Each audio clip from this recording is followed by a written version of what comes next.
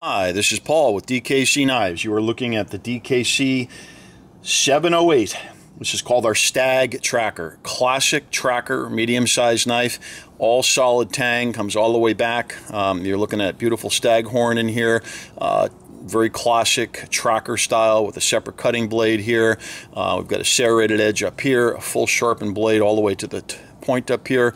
Um, very sharp. I can give you my testimony to that. I cut myself on this knife here about an hour ago. Um, and it's got holes for putting this onto a lanyard here.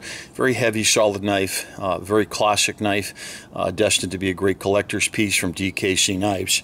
This knife comes in at about 10 inches overall. The full blade's about four and a half.